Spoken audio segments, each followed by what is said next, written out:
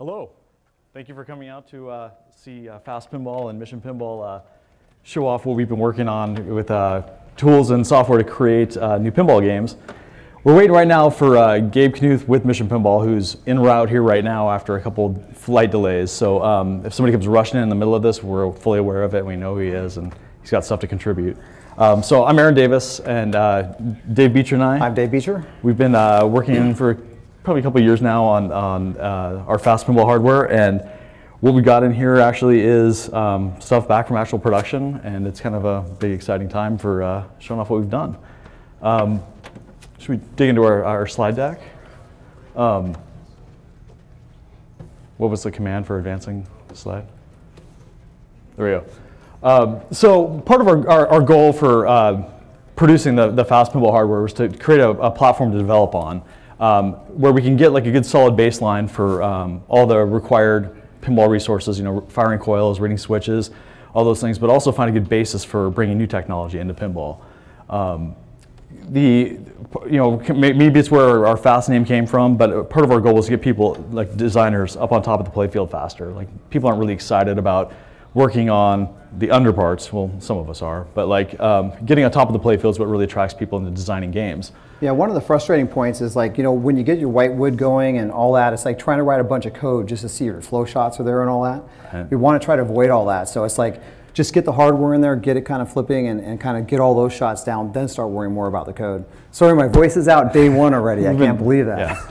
Um, and, and, and so that's where like, you know, we developed a, a, a, a pinball or a fast pin protocol, we call it, like that is actually a, firm, a firmware level uh, communication protocol with the hardware itself. So you can actually like, with just a terminal command, like you know, configure the hardware to you know flip flippers and, and pop pop bumpers and run delays and all sorts of things that let you, like Dave was saying, before you even write any high level code, just with like a terminal prompt, say I want this flipper to fire when this switch is pressed and I want to hit this hard, you know. And so from a design and development standpoint, like, you know, if you're arranging your whitewood, you're not necessarily thinking of like scoring and how much certain shots would be worth because you don't know how hard they are to hit or, you know, um, how it works into your game design overall, but you got to get those physics right. You know, this shot, this flipper needs to be this strong to hit this ramp shot and you start moving things around. So it our goal was really to get into it, into a natural design and development um, process. Um, but again, too, when, when Gabe shows up, or if he doesn't, and he comes see us upstairs, um, you can see where they were able to take their mission framework that has, you know, all the, the core resources it takes to actually run and, and develop a game, uh, game software, um, how easily they were implementing that in with their hardware. In fact, we did like a whole rewrite of it like a week and a half ago, like, which actually reduced the, the need for a driver in between. So it's basically Python, in their case, talking directly to our hardware. So it simplifies um, actually how you interface with our hardware and doesn't and, and opens up more options as far as like where you can run it. You know, if your drivers um, you know, when you're, when you're producing drivers that have to run on you know, 64-bit Windows or Windows 10 or all these different versions, it's a whole other layer to manage. And so we wanted, uh, one of our, our core goals was to make sure that it was very easy to get in and start programming pinball in whatever language you know.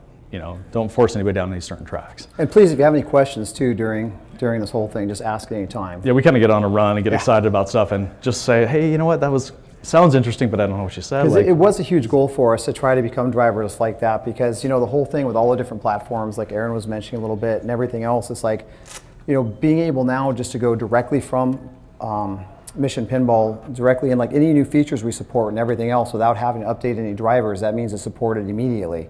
Even if Mission doesn't do it right away, it's like you have direct access to go, you know, do those drivers yourself right. and talk to them. So.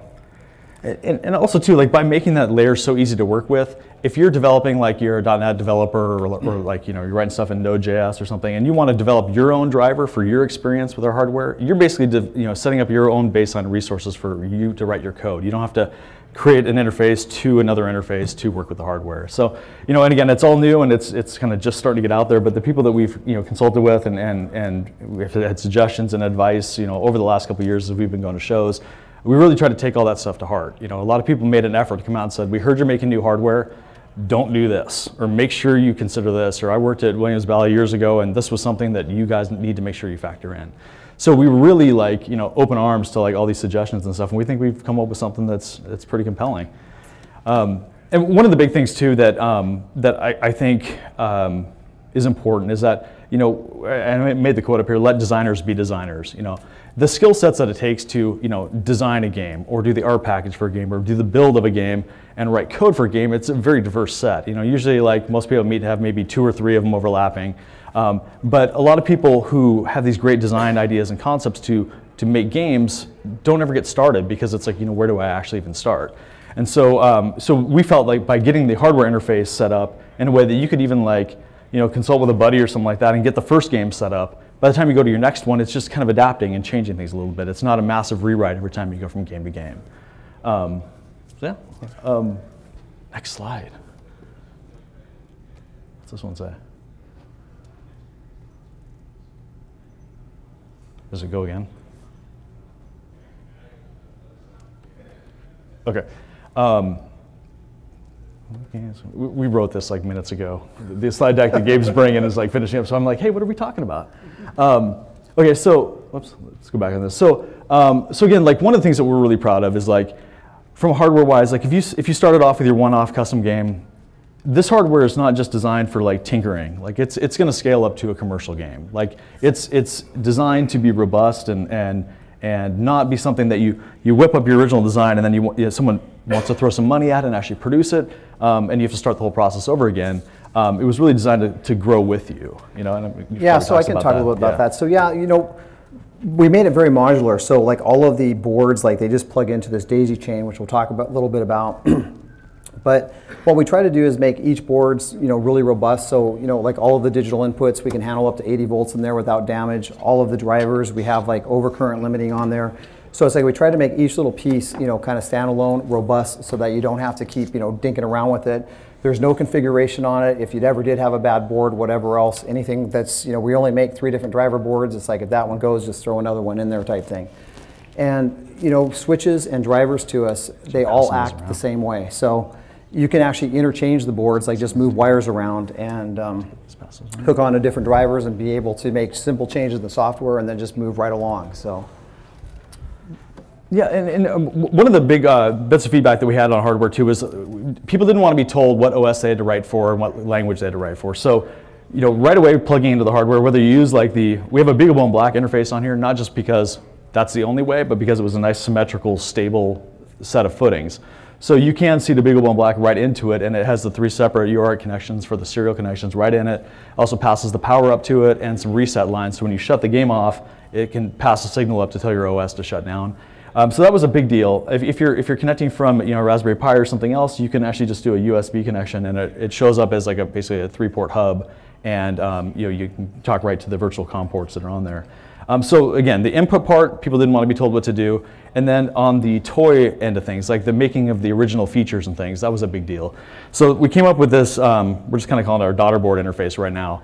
And so all the driver boards that we're passing around, you'll see that on the, on the left side of them, there's a standard left side. So now, no matter what the configuration is for the hardware on there, you've got that standard side. And it was intended so that you could actually build these little parts that add to the system. So instead of like, say somebody wants to make you an animatronic Rudy head that looks like some character and they're wondering how many drivers do I get or what's your software setup or whatever. Instead, they just know if they know the, the protocol and the, and the configuration and the settings and stuff like that that our system needs in a daughter board interface, they can design to that and, and it's done. So when you plug that into our system, it shows up as extra data that you can interface with. And so that's going to make the process of, of people making toys and new features really spread out. And hopefully it brings in like new people and uh, making new things.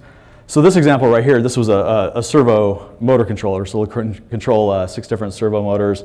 And uh, this is one that like, I mean, literally just the last couple days, like they put the finishing touches on that. And it's actually, I mean, it's, it's a great example of what you can do with, um, with our protocol engine when you're not bound by, you know, how you actually integrate it within everything else.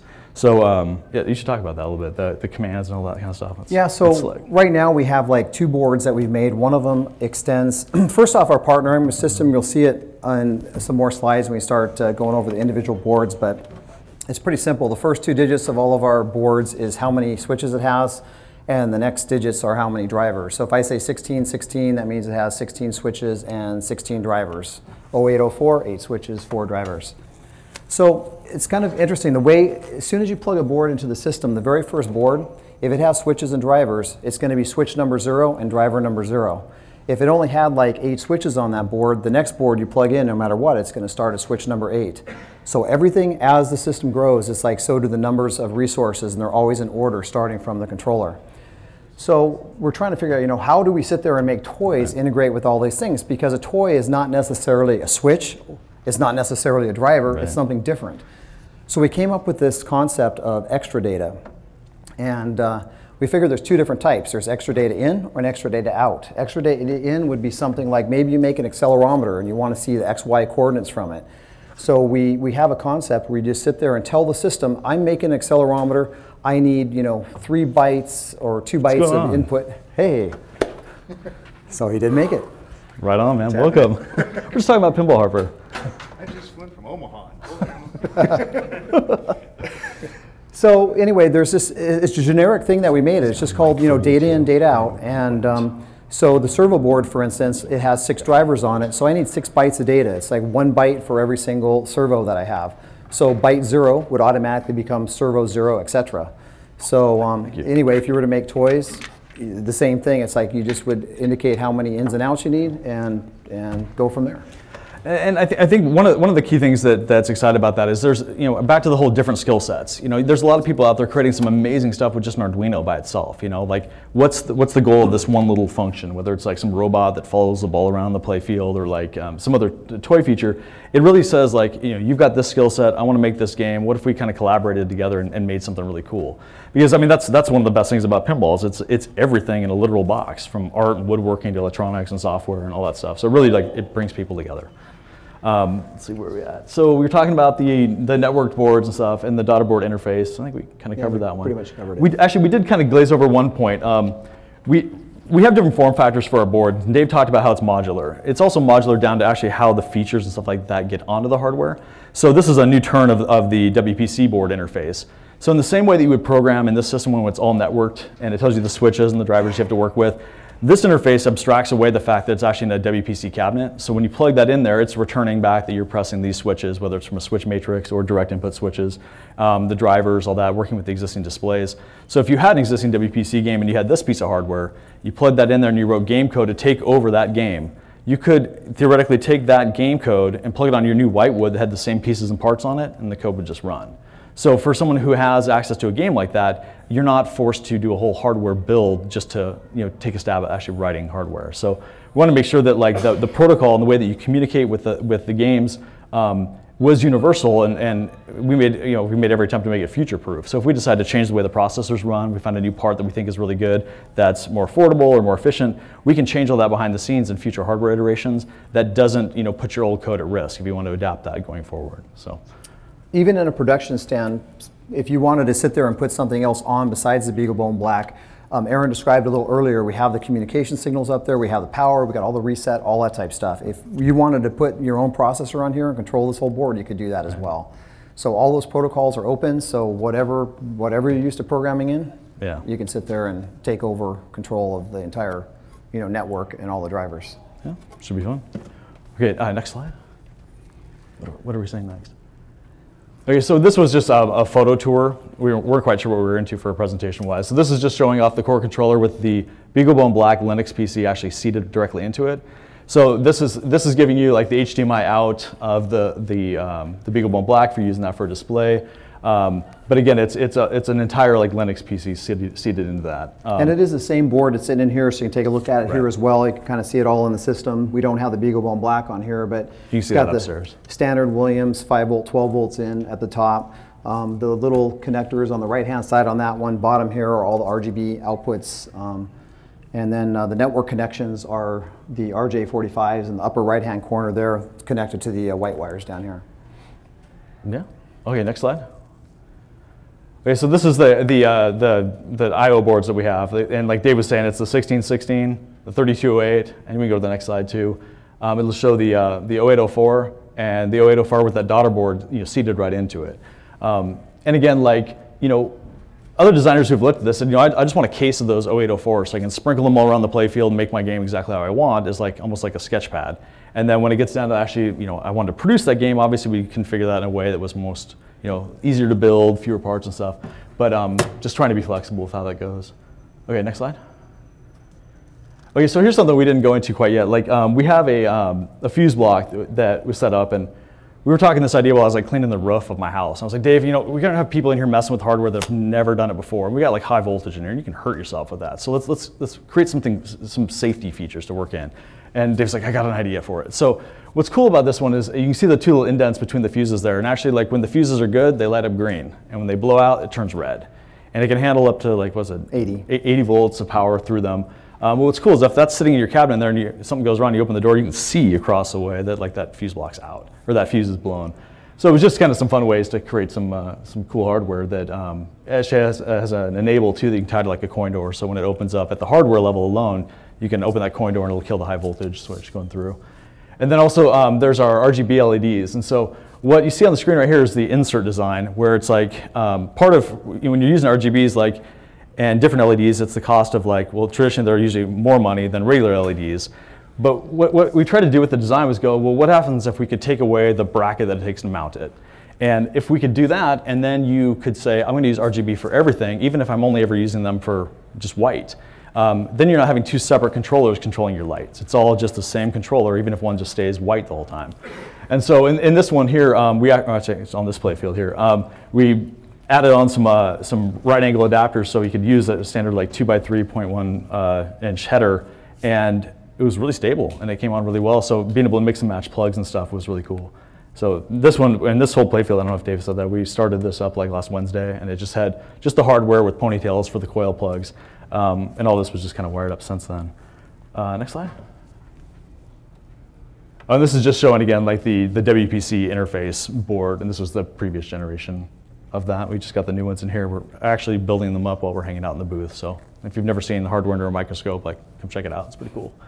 Okay, next one. Okay, this is the coolest thing. So if you haven't seen this game yet up here, this is the first game that's built up that has our hardware in there.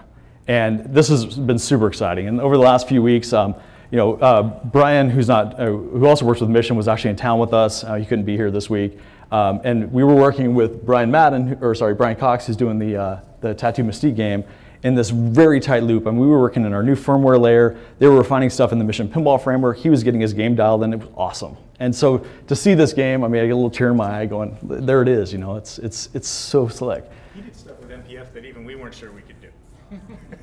yeah, I mean, again, when you have like a designer, you know, challenging you, challenging the engineers, that's that's good, and that's one of the things we really try to do. I mean, that's why when we met with Gabe and Brian with the Mission software, it was like, you know, buddy, what's going on? Like, it, it's the idea of like collaborating and not saying, no, you can't do that. It's tell me why you want to do that. And if we can't propose a solution, what, we, what we've already accomplished, well, let's figure out a way to do that. You know, so we really want to engage. We, we don't want to uh, we don't want to like uh, stifle cool ideas. We want to find a way to enable that, and that's why we started with this new platform was to say this is going to be the baseline that we build on going forward. So I think it's I think you're up now. All right. So how are we set up here? So right now we've got um, Where's this presentation running from? in the back, Okay. and then um, on here I've got, um, let's see, let me close this up. I've got the earlier version of this code that was on here, so I don't know how you want to run through it. Do you want That was working the last time you used it, right? Uh, yes, mostly I think. It's a live demo. Um, I know, seriously. we can fix it on the fly. This game, this game config is actually not all that complicated, so it's fun to. At Should some point here, we'll go or- through it. My name's Gabe, by the way. I'm the other guy behind Mission Pinball, um, and uh, yeah. So we've got a few slides just to talk about Mission Pinball, but then hopefully we can get into this guy and get a demo going. Uh, I was working on stuff literally on the plane on the way here, and it unraveled right as they said, "Close your laptops." So. Um, I'm like, what does unraveled mean? I'm landing. it fell apart. I took the thread and the whole thing. Yeah, um, it was my own. I, I tried to get fancy and it just didn't pan out. so um, anyway, so we can go to the next slide, I guess. Uh, yeah. So what's Mission Pinball all about? Um, we can keep going. Who am I talking to that's advancing? Oh, okay. Anonymous guy in the back with the arm. Um, yeah. Go ahead into the next slide then. Uh, so, oh man, this is a build. Just tick, tick, tick. So, all right. So basically, Mission Pinball Framework is about writing your own rules for pinball machines. And whether this is your own custom pinball machine that you're building from scratch, or whether that's retheming a game, maybe you don't like the rules, maybe you like the game and just want to add to it, like uh, Cactus Canyon was redone, you know, that sort of thing. Um, that's what Mission Pinball Framework is about. Uh, for us, this is 100% free. We're just two guys that are, we have IT jobs for our day jobs, and we're not trying to sell anything. We just really want to make it easy to make custom pinball machines. And it goes back, I think you can probably go to the next. And it's a build. um, so a few years ago, we decided to make our own custom machine. Once we learned that these different controller hardware pieces were out there, we thought, all right, cool, we're gonna make this machine. And we got to the point where we had some flippers and we had, you know, we had a lower third and we wanted to smack the ball around up against the back. And we learned that it was pretty hard to actually do that based on what was available at the time. And so all the code that was out there would get you maybe 5 or 10% of the way in, but then you as the game designer were spending a lot of time setting up things that every pinball machine has, like a trough and, a, and pop bumpers and drop targets and things like that. And so we thought, all right, while we're writing the custom software or the software for this custom game, let's spend a little extra time with each one of these components and make it extensible, make it so that anybody can just use it. And so that's what we've done. Our goal here is to get you to maybe 85, 90% of the way to supporting any pinball machine. Um, so we already have features built in to support drop targets and troughs and things like that.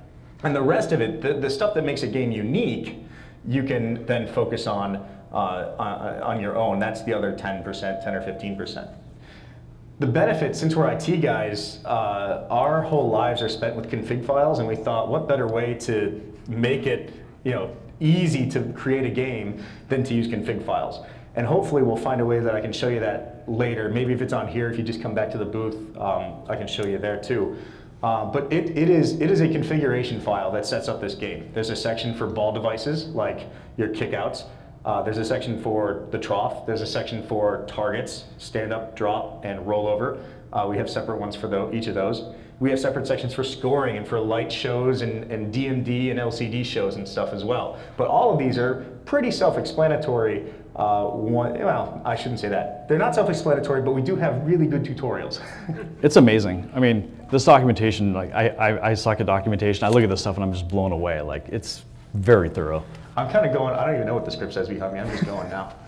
Um, so, so the, the, bottom line is we tried to make it easy to do this, and we've got it to the point now where Brian and I, all, you know, I, albeit we are the creators of it, so I guess we have an advantage. But we can take a machine from nothing to something, not everything, but something, in a couple of hours. Uh, and there's a document, there's a series of blog posts documenting taking Demolition Man, taking out the WPC MPU, putting in a pinball controller, and then starting from scratch and writing code for it. And because we've already done all the work of setting up these sort of general devices, all we have to do is turn those on, tell it, tell the game where they're plugged in, and away we go. And so it's a half an hour here, 45 minutes there, but really you spend an hour writing a config file and your game's gonna do something. Um, now, recreating Demolition Man, that's a separate thing altogether. That's where it takes time and planning and basically reverse engineering what Williams did in the first place, but it's better than writing an assembler. the whole thing's based on Python, by the way, and we've, we've done this to, to make a fully custom game. You'll have to dig into Python a tiny little bit, but it's a very small little corner of Python that we've sort of exposed through Mission Pinball Framework. So you don't have to be a Python developer all of the examples and stuff that we post online, like those are almost cut and paste, just tweak it a little bit uh, for your specific game. Um, so it's written in Python, but you don't have to be a programmer or specifically a Python person at all. Um, go ahead and next. Hey Gabe, uh, real quick, we have a question from our online audience. Oh, we have an online audience. We do. We do. we encourage them to ask questions. So sure. Uh, person writes, uh, I'm working on a project for an existing Stern machine to play video sequences from a movie. Okay. I don't want to use MPEG-1 files. Is there a better way using the BCP to use MPEG-4 or another compressed format to simply play movie scenes while still overlaying the score? that's, this person has that's a, Yeah, exactly. That's an advanced level question. There is a way to do that. So, so currently, um, out of the box, Mission Pinball Framework supports MPEG 1 videos, and it's based on the plugins and how we had to put the whole thing together. Um, we can support more modern video protocols, and in fact, we can support full-on 3D graphics rendering with uh, through this BCP protocol that he mentioned. Um, that's way more complicated than I wanted to get into here, but uh, answer to that question is yes, we can do that. Um, it requires way more work, and uh, it's not. It, it's something that you'd be taking on in addition to building the game out with MPF. For now, there's a couple of people that are working on something called a Unity engine, which is this. It's basically for 3D games what MPF aims to be for pinball, where people can create fully immersive 3D environments, and as part of that, you can run MPEG-4 videos. But you're kind of at the mercy of BCP is only like two weeks old. so uh, yes, good luck with that. Um, all right, so I already mentioned here that we can use MPF to rewrite the rules for existing games. And again, it is not like we can just put in this, you know, put in a fastboard and put MPF on a host and tweak the rules of an existing game. Like we'd have to start from scratch, but you can make, say, a not so awesome game pretty awesome. Um, and I think that we are done with these, uh, these bullet points here. So like I said, there's hundreds of pages of documentations and how to. There's literally a 19 step that'll process that'll take you from nothing to flipping with scores and combos and all of those things. And you can do that in maybe a couple of evenings uh, if you wanted to try it yourself at home. And the demo. So uh, ordinarily I'd be Yeah, see if we scrolling through a config file here. So maybe we can we put get this, this up, down. I yeah. mean, it's not going to have quite the same. Did you bring a ball too? Uh, where's the? It's in there. So you want to see the config files itself? Okay. Do we have a mouse? What Yes, the? I know this crazy robot thing. Okay, so Okay, there will be no coding, not with this keyboard. there's actually another keyboard. Oh, right over here. So, so I had some config files and this stuff up here from earlier that we were messing with. Okay, cool. Um, So this this game, like I said, is actually pretty simple. So this. the entire game is this our mouse then? Is Yeah. that what this is? I wonder if we can. Yeah. Can we do like? Does that make things bigger? Kinda. So tough to see, but this is our config file for this game, and in this config file.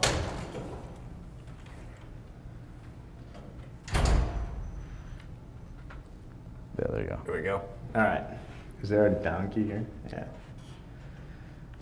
So in this configuration file, we're, we're just specifying, we're saying how many balls this machine has, we're saying what platform this thing runs on, because it doesn't just run on fast, it runs on anything out there. And if you happen to be making your own pinball controller, we can support that too. Uh, in fact, there's two or three active development things where guys are just they, they, they, they're having more fun making the boards than they are making the game, and so they just wanted to make their own hardware, and so they're tweaking it to work with, uh, with, with our platform too, or tweaking our platform to work with their boards.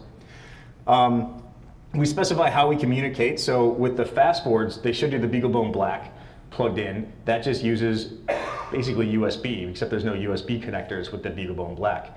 In this machine, we're using a PC, right? So it's Right. just plugged in with USB. And so we specify what ports we're actually using with that. And then, uh, this is really weird. Oh, I see, it's our Zoom that's messing us up here. Um, so we also, that, and this is where we start to specify our rules too. So we're saying how many balls we have in a game, uh, and then we're starting to specify our hardware. So what we're seeing right here, which is really tough because it's pink, is our switch definitions. And so we're actually going in and naming a switch, and we call it some name that we that's meaningful to us. And we can tag a switch with certain things. So we, we, we can tag it with uh, points please, for example, here. And so every time we tag a switch and we hit a switch, it posts that tag and we can do whatever we want with that. The tags are actually really easy to use in this. So we specify our switch name, the number that it is. With, uh, with, with the fast driver boards, that's a letter or a number. With, uh, if you're using the WPC controller with WPC driver boards, those are gonna be the same WPC number that's in your switch matrix. And actually, I should say too, like with, with our hardware itself, there's a set of commands that you can run. So when you first connect the hardware, you need to identify what all your coil numbers are and your switch numbers and things. So we have some commands you can just actually pull up a query command and scroll through it. And, and, and as you're touching switches, it's giving you which switch number it is. So you can write your config kind of as you're going. But even for the coils and stuff too, you plug those in, you can scroll through and, and it'll start flipping each, it'll start firing each of the coils. And you can identify those in the process. And just the last couple days, Dave did the same thing with the RGB LEDs as well. So you can scroll through those and say, this is this one, this is this one. And we needed that after we spent like half an hour IDing them all over the game. Which one is that? And then finding a name for it. So um, those kind of commands make the process of setting up the configs like really easy too. And uh, frankly, I've used that on WPC machines with the fast hardware just because, I don't know if you've noticed, but the manuals aren't always right Yeah. uh, in terms of what goes where. So same thing here for our coils. We're specifying our coils again. It's just a coil number, and also in this situation, we're specifying its pulse time. And so here we can do uh, regular coil pulse. We can tell it uh, whether to use patter or not, and so we can support uh, any generation of pinball machine uh, and, and any what do I say any way any way that a coil's wired up. Right. Uh, and then same exact thing for lights. I mean, we're specifying a light name, we give a light a number, and then we can tag a light. So for this game, uh, this game's interesting. I don't know if you saw before, there's a dartboard on here, and there's a lamp underneath the red and the black segments. And so we have lights tagged with red and black. So later, we can actually write the code, I'm sorry, we can write the config file that says turn on the red lights only. And all we have to do is say turn on lights tagged with red. That's, it's a one-line thing that makes all the lights in the red segments turn on. Uh, and so we can do complicated shows that way with just a couple of lines. Turn them on, turn them off, turn on the black, turn off the red, that sort of thing. How does this thing have black lights? I think he's, he's referring to the, the, the dart Just dark. boards. Oh, okay. It was late, It looks drank like a lot of cokes, and we're like, we need a naming convention here. Let's go black and red. There you go. The show that I wrote on the plane is not going to be nearly as impressive, knowing now that. Well, we can go up there and tweak it upstairs. We're gonna like be writing up game code as we're going through the weekend here, so it'll evolve over the over the next day or two here. yeah, I should say this thing is very basic. So we we haven't really done added any real pizzazz to this game, and that's what we're going to work on over the weekend. So if you have suggestions, stop by. Like, make this do this. You know, we can put it on the list and see if we can get to it. You know. We took a, um, a 1974 Gottlieb Big Shot to the Chicago Pinball Expo, and we took out the guts of that game in a very nice way and donated them to somebody who really wanted uh, more guts to an, an EM. And we, pla- uh, we replaced it with driver boards and modern stuff, and we rewrote Big Shot, which was like 10 minutes because it was Big Shot, and it's not that hard. Hit down this side light special, done. And uh, but in addition to that, we were able to. Do you know what attract mode on Big Shot looked like? The game over light blinked on and off. That was attract mode. And so for us, we, we, we had every single light was addressable, and so now we can say make all the lights snake around here. And there was a there was a really cool pool rack on the play field, and so we could make that snake around the lights and flash them in different ways and sweep when you hit different sides. And we just put a time machine switch on the front so you could flip it into old and new mode. And that's the kind of thing we're going to add to this. So we'll add scoring and cool light shows and sounds and stuff. Um, so that's all of our light specifications. This is all. This is all just a I don't know hour and a half worth of work maybe to get all this stuff set up, and a lot of that is just discovery. In here we also configure our flippers, which I don't know how to get up there. This way. Not that anybody can see it anyway. But here we actually have flipper definitions. So we're specifying the left flipper, and then we're saying which coil the left flipper is by its name, and then which switch it is. So this is tying, this configuration section here is tying this coil to this switch. And that's it. So you specify that flipper, and when you fire this game on, now when you hit that button, the flipper flips. It's two lines.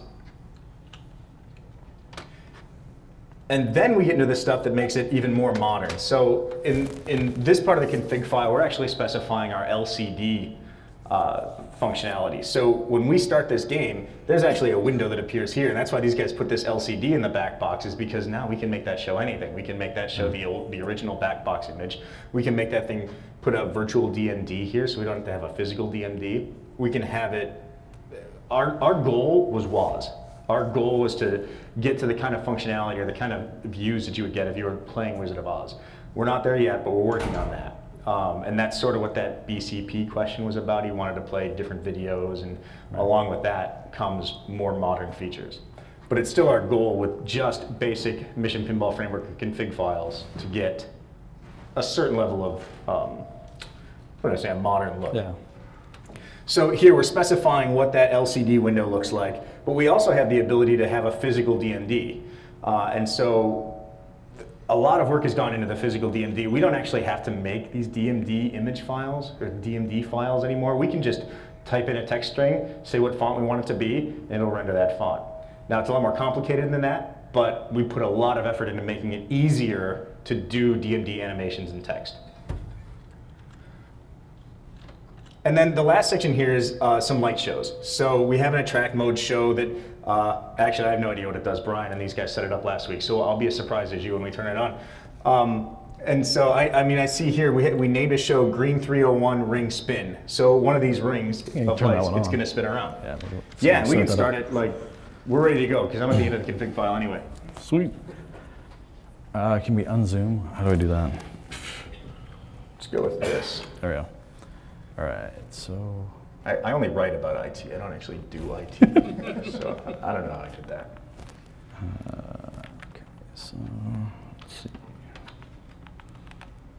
Do you want this? Oh yeah. God, it's a, it's a I mean, it was smart? fun watching you try. Yeah. Thank, thank, thanks, man. Now I can sit here. All right. Um, Look again. whoops. Come on, man. We're trying to do a presentation. People are online right now. We have them laughing. Okay. I didn't do that. MPF.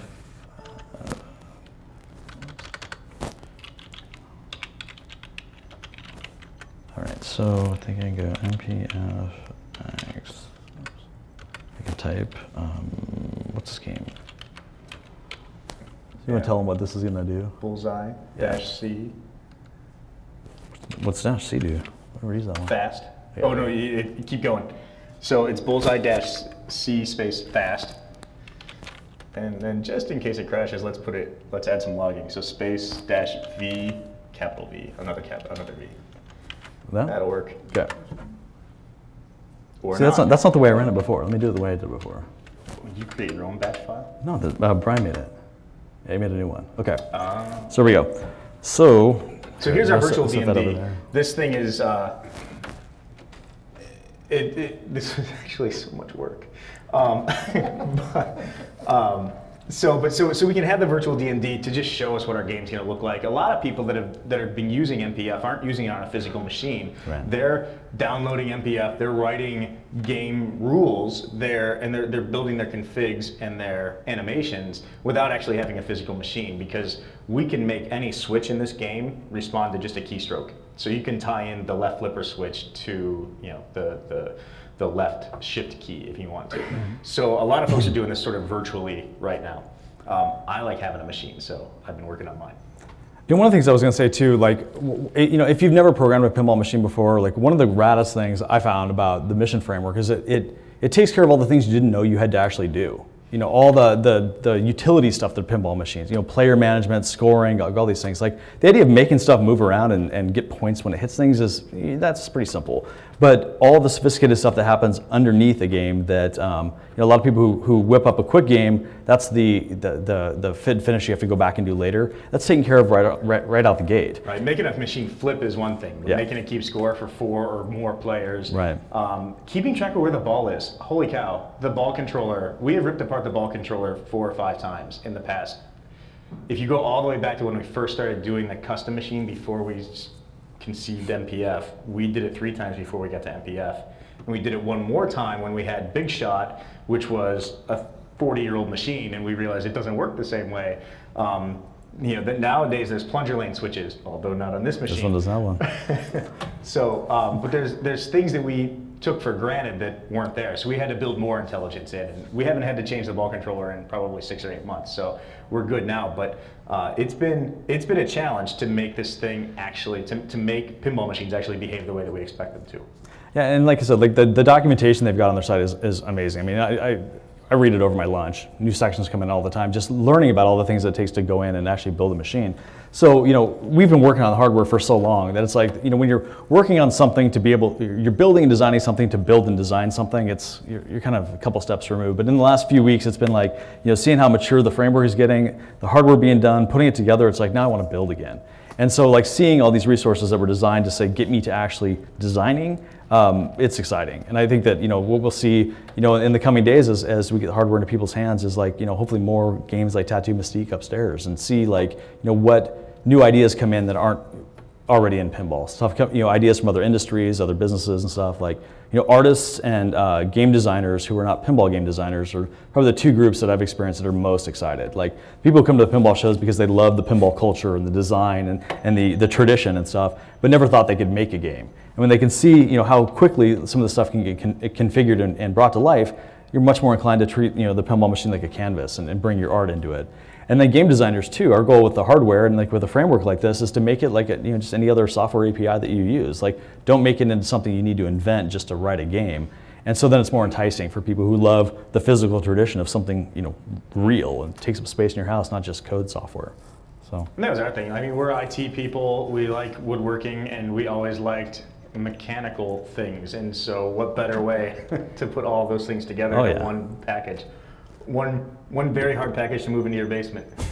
Um, so the, all that we have right here, a couple of light shows right now. Um, there's no scoring set up on this game yet, and that's one of the things that we're going to add over the weekend, which is um, it, it's it's not a big deal. I figure Yeah. we'll probably do that tonight over Yeah. beers or something. But Sweet. um, what these guys have done, they put our, those RGB LEDs under each one of these. So, you know, when this game was original, it just had incandescence, and so the lights were the color that they were. Did you guys, you didn't redo this and put in clears, right? It just happened. No, to this have one actually, happened to, that's yeah. why we chose it. Like Dave had it, and it was, he's like, it's got clears in it. So we were able to actually take advantage of the fact that it already had some clear LEDs in there. Um, and then, um, yeah, just in the last couple days, I started adding, I had some RGB uh, GI type lights. So we went through and worked some of those in too. So um, just like you saw like in the config, you, you, you saw it was up there. Um, going through and naming all those things, there was a large section of the GI light that was commented out because we hadn't actually put the lights in yet. So we can go upstairs and map all those out and use, use Dave's new RGB uh, scrolling querying command to just go through and get the IDs for each one, write them into the config, and then we can control the lighting. So we can, we can bring it up nice and cool, heat it up, move the dynamics of the game around. So we can say like, you know, if the ball is up here bouncing around the pop bumpers, maybe the light is warming up up here. It's going from a cool light to, to yellows to greens to, to reds to, you know, like showing that there's game dynamics and game, uh, you know, scoring and stuff like that that may be based on time. So it heats up for a while, and while it's still warm, you can go make some other shots, and if it cools off again, then maybe that mode is over. You know. You're writing some awfully big checks. Dude, I know that sounds awesome though, doesn't it? I'm fascinated with the lighting, like creating moods, setting a stage. You know, so I- we, we can see what we can work in. Yeah, so that yeah, that's I'm looking forward to doing that this weekend. I think that it's fun to uh, take a machine like this. I don't even know the rules to this game, which is awesome because I don't have either, any actually. preconceived notions. Uh, so I, you know, we, we can just make up our own rules for this game. They only sold 150, and there's a reason why. It wasn't very much fun to play. took it all apart. It sounds like it's a collector's item. There you go. uh, no, there's a reason. So I mean, the, the fact that these, uh, when, once we're done, you guys can get up and come and check it out. But I mean, the lights are going around; they're changing colors as they go, um, and we can, with a couple of clicks in a configuration file, change everything about these light shows. Um, right now, we're just alternating certain things on this dartboard. Here, we can make it chase each other around. We can make it where there's a game that you play Yep. like a snake game. That's what we always wanted to do with the pool rack on Big Shot was it has 15 balls. Every ball in the rack has a light underneath it, and we thought it would be cool to turn it into like that Nibbles snake game where the snake chases something around and then gets bigger every time it eats something. It's only 15 lights, so it would Be a short fun. game. Yeah, it would, be, it would not Proof be of concept. game, but nobody likes video modes anyway, right?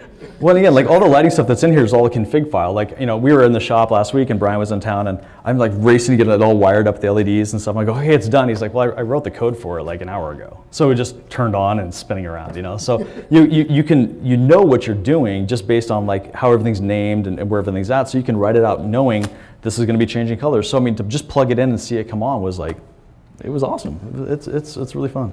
The future for us too is, is Mission Pinball is that, you know, uh, we understand that this is still a big text file, and by the time you have a game complete, it's a bigger text file. And it's easy enough to follow because things are broken up into sections and you can break them up into files if you want, but some people are just more comfortable with a GUI. Uh, and so that's next on our plate, probably in the next year or so, is we're going to make a GUI configurator. I don't know, we'll come up with a better word. Um, and in that, we can also do config file validation so that it, you know, we, we don't have to worry about syntax or anything like that or typing in, you know, typos, that sort of a thing.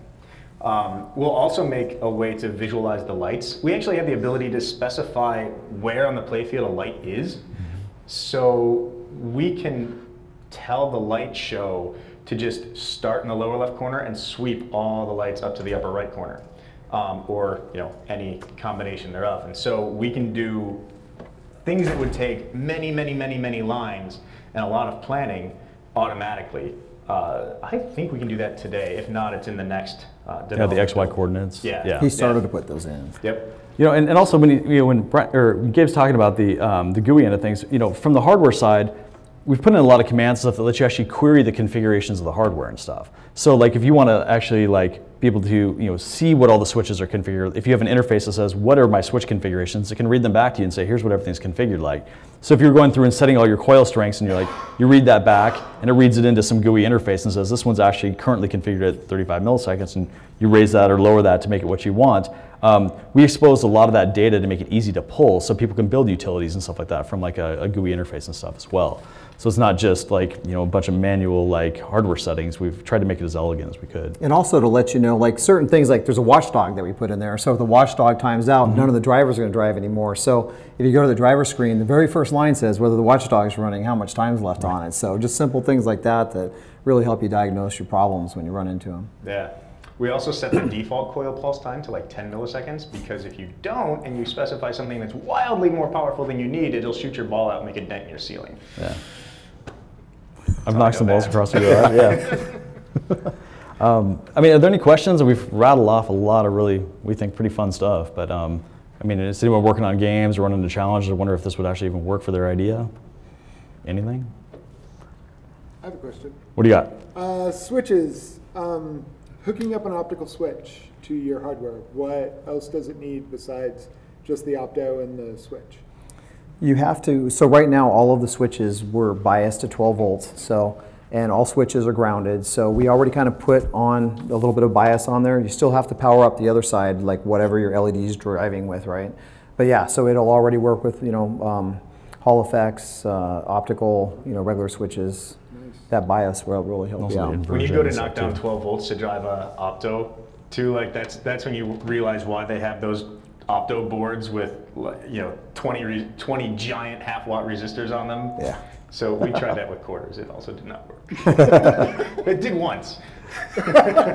And one thing nice too is like all the switches, for instance, each one has got a separate uh, debounce time for both open and close. So if you got that slingshot effect going on where you know the slingshot is fired, the rubber bands come and hit the switch, you can sit there and program those a lot more aggressive on ignoring you know the, the bounce and you can also do some things at the driver level as well. So it kind of makes it really universal to have you know individual control over all that. Flippers, you want to be very aggressive. You don't want to wait like you know 40 milliseconds before you know you start to fire the flipper. So you set those just to a couple. But yeah, slingshots are notorious for getting that uh, shotgunning going on. So you can completely stop that with a few parameters. Imagine too, because you don't have that kind of resolution into the configuration of the device. Is not regular pinball machine, right? So now you can sort of extend the life of certain things, or you know, you don't want to take it all apart to get to this one thing where you have to adjust a switch or something like that. So you can just make a little tweak in code to change how fast that switch reacts to a closure.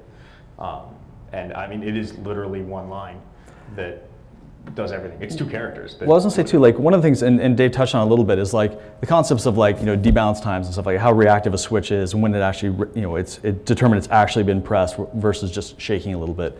Um, all that has been worked into how our hardware runs, and so we've got default configurations that we think are optimal for like reading the types of switches that are in games.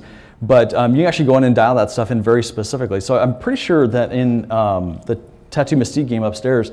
Um, Brian had gone through and, and tweaked the way that the pop bumpers reacted so that they had the feel of the era that the game was designed and modeled around so that you know, not everything was you know, firing really hard and really fast. Um, it was designed to kind of have that like little softer hit, you know. Probably so a little bit longer delay. Yeah. A little bit weaker of a hit. Yeah. and when when I first heard he was doing that, I was like, "What are you even talking about?" But then you start you start you know learning about like the eras and the way hardware ran, and and it's it's it's fascinating. So I mean, w- and I think that's one of the cool things about like the kind of control that we work way down. You know, you know, you've got even in the mission framework, it's got its defaults. We've got our defaults, but we're not saying that's our way or the highway. Like go through and configure it exactly the way you want, so your game feels the way that you want.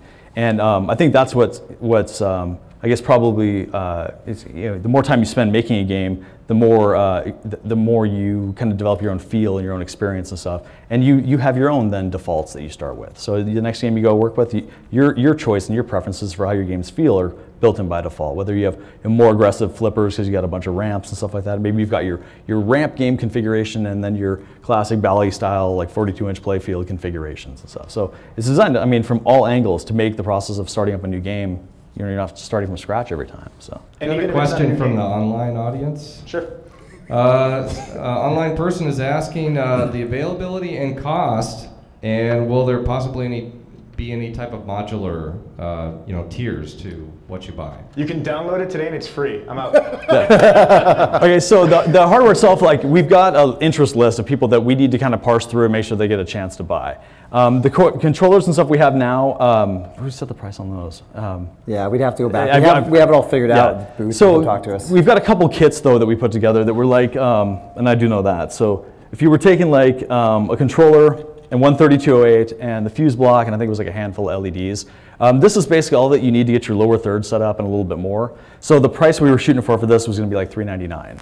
And so that was everything that it took to actually get that whole lower third started and, and, and running. And then there were some other packages and stuff like that that we were working on based on kind of the popular configurations that um, people have asked for, you know. But again, because it's all modular, like you can keep adding and mixing uh, in different boards as you go along. So that kind of starter kit we set at like the 399 price. And availability, um, depending on how many of these we've actually sort of, we didn't pre-sell because that's bad in pinball.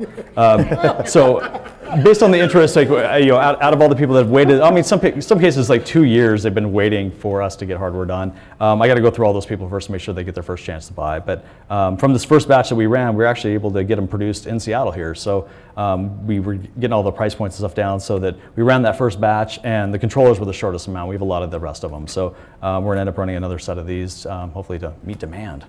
And we have actually fuse blocks available Yeah. today. Oh, yeah. yeah. So it's like the only thing Fuse that doesn't block- need software in there. So Fuse yes. blocks and LEDs are available. Yes. We've actually been selling the LEDs for a while to test out our web store and stuff. So um, people have been using those in different games. It doesn't just need to be